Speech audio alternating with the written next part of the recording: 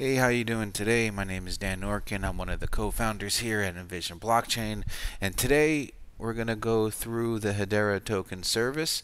They have a really neat demo that I think is a great way that we can begin to showcase how you can look at tokens and how you can take some of these backend services like the HTS and put that into your own application. So to get you started, Hedera has this really neat demo that I'm sharing right here on the screen. I'll put a link to the repo in the comment section below. So again, just to get started here, so you know, just taking a look at what the README says, that this demo is a user interface. It's written in JavaScript and it's used to illustrate the use of the Hedera token service. When first launched, the demo will create three accounts. So there's going to be an account for the owner, the admin of the new tokens, there's two accounts representing the users or wallet holders.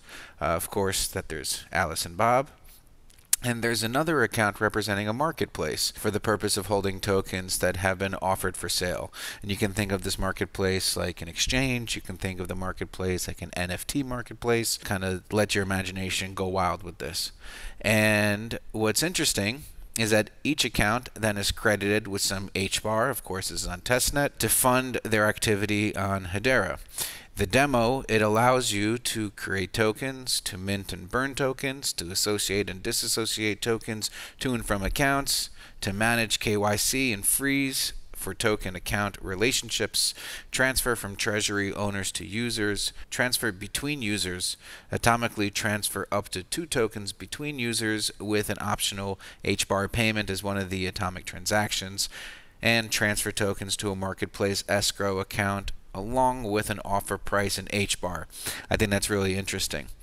One thing that I do want to note, and I'm going to flip over here so that we can go ahead and fire this up and actually talk about what we see. You know, if we scroll down a little bit further, we can see some of these instructions. So essentially is that when I'm going to load this up, we're going to take a look at it, is that there is an admin page which allows you to manage the tokens, provides accounts for users.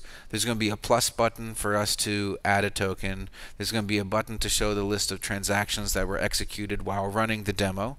And then, of course, there's a button which is pretty neat. It's the nuke button. It's a cool little image. I'll show you. And this will remove all traces of tokens and accounts in your browser and recreate a clean demo environment. We're going to do that because obviously I was playing around with it before recording this demo. Once a token is created, we're going to be able to show accounts associated with the token. We're going to be able to mint it. We're going to be able to burn it. We're going to be able to transfer from treasury to users, you know, and and so on and so forth. But what I think is really interesting is this concept of this NFT marketplace. So support for creating NFTs is demonstrated in the composer whereby a set of templates deriving from this directory public slash token template.json are available within the UI when creating an NFT. So there's considerations for storage, there's considerations for networks, there's you know all sorts of considerations. So quickly looking into that, here's here's that uh, file that was mentioned in in the README. So scrolling down a little bit further, see here's the considerations for storage. Of course, there's Hedera storage, IPFS is also one. There's some other considerations out there with Filecoin, for example. So those are just some of the storages. And if you go down, right, you can look into the, the different types of NFT properties like rarity, type, etc. Right? So these are things to kind of consider while you're looking at this demo. I'm not going to go too deep, but you know something something to put out there, right? There's the frog, there's the cat for all for all the different uh, you know NFT different types of characters that you can go ahead and create. So anyway, we're going to go ahead and fire up this demo. So firing it up is not difficult at all. I ran this at the start. I'm not going to have to do that. Basically, what I had to do was create uh, a .env with some of the parameters. I'm not going to do that because then if I if I click on that you're going to see my private key. You don't want to share your private keys with anyone even though this is a test account. I don't want you stealing my test H bar you know what I mean? Anyway so let's go ahead. I'll copy and paste the docker compose up. This is the key to get it started. So here we go. Here's the UI that comes with this demo you know, here's here's the Hedera token service demo. Here's the accounts that we were just talking about, the issuer, there's Alice, there's Bob. I'll show you the marketplace in a second.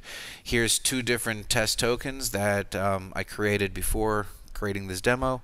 So, you know, there's the plus button that we can add new tokens. Just doing a little browse through this UI. Here's another way that you can create different types of tokens. Here's the transaction list. And then here's the nuke button. We're going to go ahead and click the nuke button so we can clear everything and get started for this demo. Okay. So again, to get started, very simply, just hit the plus button. We can go ahead, and enter the name for the token. We'll call it test token 1. We'll give it a symbol called TT1 decimal places. I don't know. Let's have whole tokens. Initial supply. Put a couple zeros in there. And then here's, you know, different parameters that you can establish. Again, this is on the UI. Just remember, when you're adopting this into your application, you're going to be able to select anything that matches your business case. Whatever. For this purposes, let's go ahead and create this as it is on, on the default.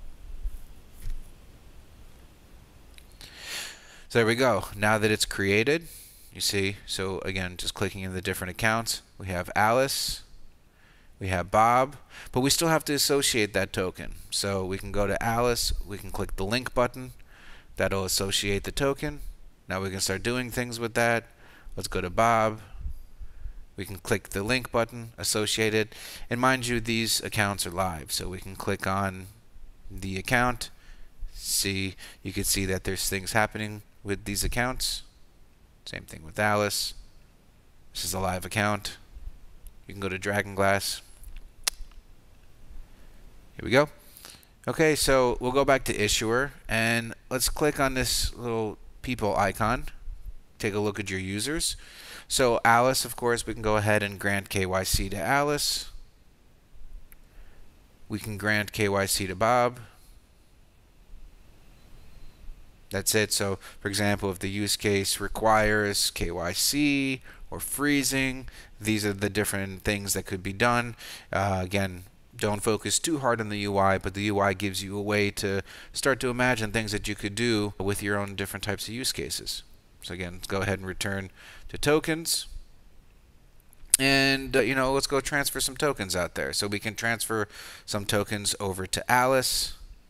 So for example, token quantity, let's go send Alice 100 tokens. We can go hit the transfer button. And there you go. So now Alice has a token balance of 100. Obviously, the next thing is to transfer some tokens from Alice to Bob. So we can select uh, Bob from the drop down. We'll select test token 1 from the drop down. We'll say that we want to transfer Bob all 100 of these tokens. We'll go hit the transfer button. And you can see off the bat that the balance went down in Alice and in Bob's account it went to 100. And of course we can go ahead and take a look at the transactions and here's all the transactions that we've uh, done so far in this demo. You know, we can go ahead and take a look at this test account. Also right here's here's all the things that we've done. Create token from the beginning transfer associate account grant KYC you know so on so on and so forth. Let's go ahead and create an NFT let's create a non-fungible token. So we'll go ahead I don't know let's call this uh, frog. Frog token. So we can choose our template that we were showing you before. We'll hit frog. We'll hit continue. You know, you can put in the pictures that you want. You have your choice of the metadata storage. Choose IPFS. But again, it's just not configured over here. So we'll do the Hedera one. Skin color. Let's do a green frog. Let's do a large adult size. And you know what? Let's do lethal. This frog is lethal. Hit continue. KYC. Nah, there's no KYC for this one. This is not freezable. Let's go ahead and create this. And there you go. Here's your non-fungible token. Right? We have one supply over here. So let's transfer this non-fungible token maybe to the marketplace. And let's put this up for, I don't know, let's say uh, 20 H bars. We can transfer that. We can go to Alice. Let's associate Alice to the frog token. Let's associate Bob to the frog token.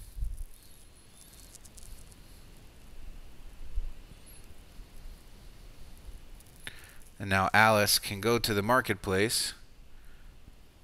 Alice can buy the frog token. That's it. So you see that the that the H bar balance it went down and the frog token balance went up.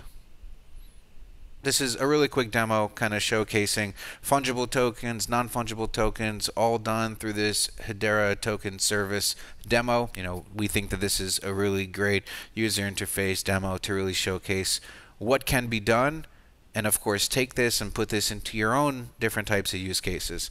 We're really excited to show you the things that we're working on. Stay tuned.